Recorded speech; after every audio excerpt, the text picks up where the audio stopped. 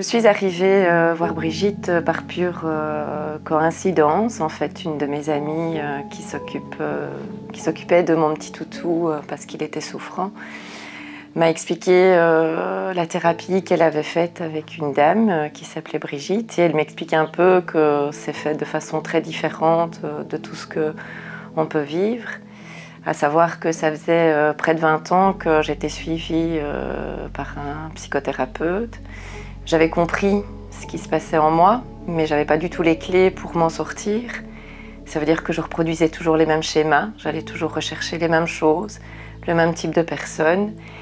Et euh, c'était, euh, même si mon cerveau me disait non, c'est pas bon, tu dois pas y aller, euh, ben je fonçais, donc sans, sans comprendre pourquoi. Et donc lorsque mon ami m'a parlé de Brigitte, bien j'ai décidé d'aller la voir et lors de la première séance, euh, lorsqu'on s'est rencontrés pour voir un peu ce qu'on pouvait faire ensemble, mais là j'ai senti quelque chose que je n'avais jamais ressenti, beaucoup d'émotions, viscéralement ben, c'était très différent. Je comprenais pas vraiment ce qui m'arrivait puisque euh, c'était tout chamboulé à l'intérieur de moi. Il y avait ce côté euh, qui pour moi était important, c'était la pleine nature, les animaux, ce contact euh, avec eux. Et j'ai donc décidé de poursuivre euh, cette, cette thérapie. C'était pas toujours facile au début parce que ça, remuait pas mal de, choses.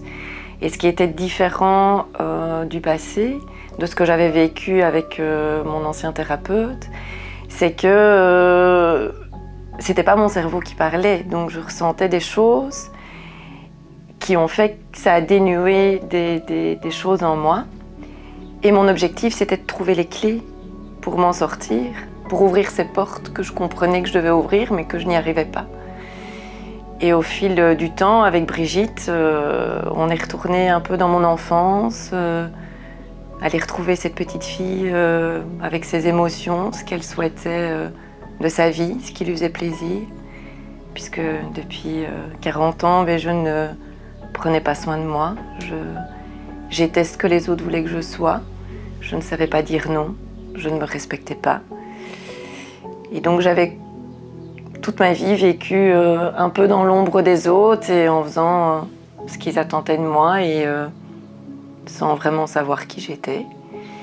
Et puis un jour, elle m'a demandé quels étaient mes besoins. Et là, je pense que j'ai dû la regarder avec des yeux. C'est quoi un besoin? Je sais pas du tout, moi. Ça veut dire quoi?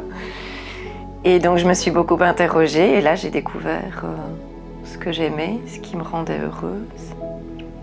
Et c'est comme ça que, avec Brigitte, je lui ai demandé s'il était possible de, monter à cheval avec elle. Euh, d'avoir euh, cette sensation euh, que j'aime puisque je montais un peu quand j'étais plus jeune.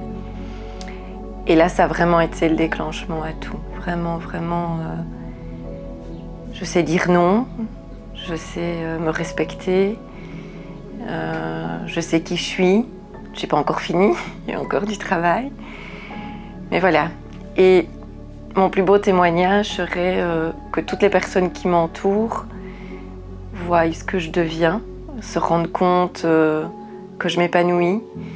Une de mes meilleures amies m'a dit euh, c'est la première fois euh, depuis très longtemps qu'on te voit avec des yeux remplis de joie et plus de tristesse parce que je pense que je portais sur moi vraiment la tristesse.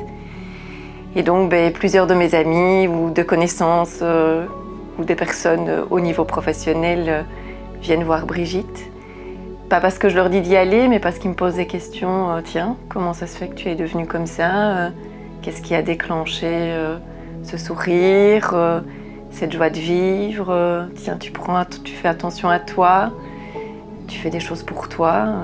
et donc c'est comme ça que je leur parle de Brigitte. Et quel est le plus beau témoignage de se dire que les gens puissent se rendre compte de mon changement?